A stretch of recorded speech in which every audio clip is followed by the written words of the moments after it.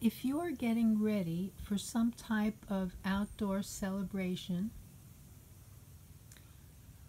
and you'd like to have something very festive like streamers but you can't have paper streamers because it rains outside.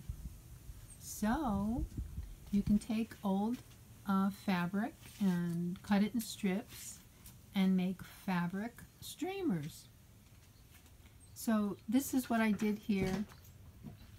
As you can see, I cut the strips. There's even um, pieces of strips that I sewed together that were short. And it doesn't have to be fancy. You don't have to have hems on it. And then I made this top so that I could slip it through the, the tension curtain rod. And, um, oh look, that looks like a love bug.